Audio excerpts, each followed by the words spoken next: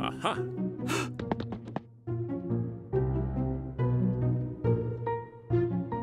I'm Pam Arciero, and I'm going to be reading the poem When You Are Old by William Butler Yeats.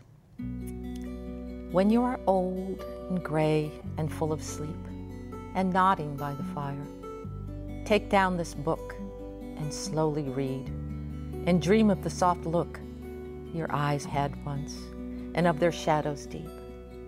How many loved your moments of glad grace, and loved your beauty with love, false or true. But one man loved the pilgrim soul in you, and loved the sorrows of your changing face. Get caught reading. Read, listen, and enjoy at pbshawaii.org.